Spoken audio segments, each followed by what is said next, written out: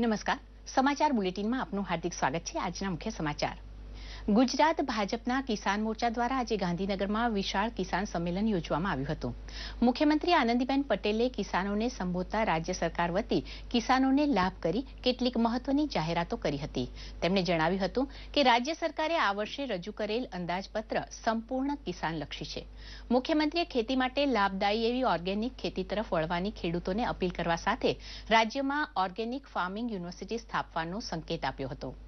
રાજ્યમાં પચાસ જેટલા સ્થળોએ જરૂરી ફર્ટિલાઇઝરનો અનામત જથ્થો રાખવા ખાતર માટે ગોદામો ઊભા કરવાની જાહેરાત કરી હતી. તેમણે ખેડૂતોને ખુશખબર આપતા જણાવ્યું હતું કે નર્મદાના પાણી માટે સબ કેનાલનો નેવું ટકા ખર્ચ રાજ્ય સરકાર ભોગવશે. દસ ટકા ખેડૂતોએ ભોગવવાની નીતિમાં પણ છૂટછાટ મૂકી હવે ખેડૂતોએ માત્ર અઢી ટકા ખર્ચ ભોગવવાનો રહેશે. કિસાન સંમેલનમાં મુખ્યમંત્રી આનંદીબેન તથા ભાજપ પ્રદેશ પ્રમુખ વિજય રૂપાણી શણગારેલા બળદગાડામાં પધાર્યા હતા. ભાજપના રાષ્ટ્રીય ઉપાધ્યક્ષ પુરુષોત્તમ રૂપાલા, ભાજપના કિસાન સેલના રાષ્ટ્રીય અધ્યક્ષ ગોરધન ઝડફિયા અને પ્રવક્તા આઈ કે જાડેજા તથા અન્ય નેતાઓ ઉપસ્થિત રહ્યા હતા. ઉત્તર ગુજરાતના વિવિધ વિસ્તારોના ખેડૂતો મોટી સંખ્યામાં સંમેલનમાં હાજર રહ્યા હતા.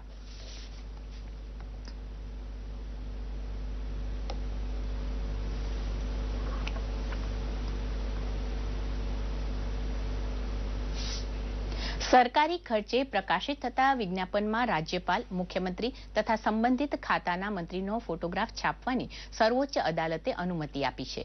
ન્યાયાધીશ રંજન ગોગોઈની ખંડપીઠે અગાઉનો ચુકાદો સુધારીને આ છૂટ આપતા અરજીદાતા એવી કેન્દ્ર સરકાર તથા તમિલનાડુ અને પશ્ચિમ બંગાળની રાજ્ય સરકારને મોટી રાહત મળી છે.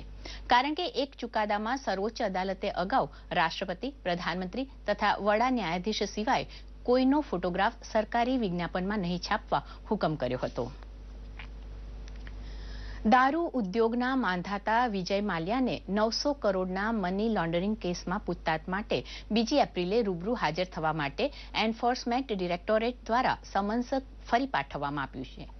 વિજય માલ્યાને તેમના અંગત મૂડીરોકાણ તથા મિલકતોની યાદી સાથોસાથ છેલ્લા પાંચ વર્ષના આવકવેરા રિટર્ન અને પાસપોર્ટની વિગતો સાથે હાજર થવા કહેવાયું છે.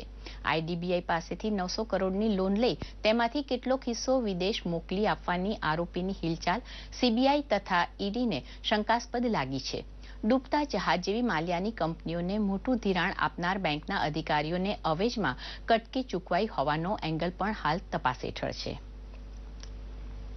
રાજસ્થાનમાં જેસલમેર નજીક પોખરણના રણ મેદાનમાં ભારતીય હવાઈદળની પ્રહાર શક્તિનો અદભુત નજારો રજૂ થઈ રહ્યો છે જેને દૂરદર્શનના જીવંત પ્રસારણને લીધે દેશ દુનિયા અભિભૂત નજરે નિહાળી રહી છે ભારતની યુદ્ધ તાકાતનો પરચો રજૂ કરતા આર્યન ફિસ્ટ બે હજાર સોળ એર શોમાં હવાઈદળના એકસો એક્યાસી યુદ્ધ વિમાન ટ્રાન્સપોર્ટ વિમાન તથા હેલિકોપ્ટર ભાગ લઈ રહ્યા છે રાષ્ટ્રપતિ પ્રણવ મુખર્જી તથા પ્રધાનમંત્રી નરેન્દ્ર મોદી સહિત સંખ્યાબંધ મહાનુભાવોની હાજરીમાં યોજાયેલા યુદ્ધ અભ્યાસમાં દિવસ તથા રાતે લડાઈ કરવાની ક્ષમતા રજૂ કરી હવાઈદળ તેની લોખંડી તાકાતનો પરચો આપવાનું છે.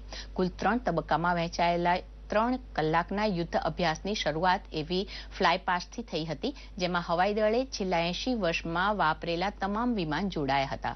ત્યારબાદ મિગ, સુખોઈ, જગુઆર તથા તેજસ જેવા યુદ્ધ વિમાનની ફ્લાયપાસ્ટ યોજાઈ હતી. ભારતે પોતાના બાવડાના બળે બનાવેલા યુદ્ધ વિમાન તેજસ દ્વારા લેઝર ગાઈગેટ બોંગ દાગવા સાથે હવામાં મિસાઇલ પ્રહાર કરવાની કવાયત રજૂ થઈ, ત્યારે તાળીઓના ગડગડાટનો અવાજ, બોમ્બ ફૂટવાના ધડાકા ભડાકાની પણ બુલંદ હતો. ઘર આંગણે બનેલું લાઇટ કોમ્બેટ હેલિકોપ્ટર તથા આકાશ મિસાઇલને પહેલી વખત પોખરણના યુદ્ધ અભ્યાસમાં સામેલ કરાયા છે.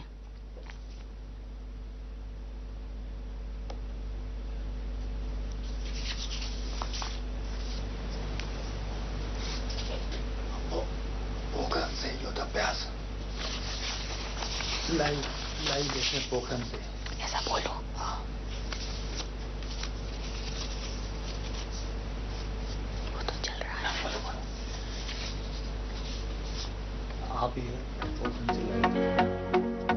थी आप लाइव कार्यक्रम जुई रहा शो।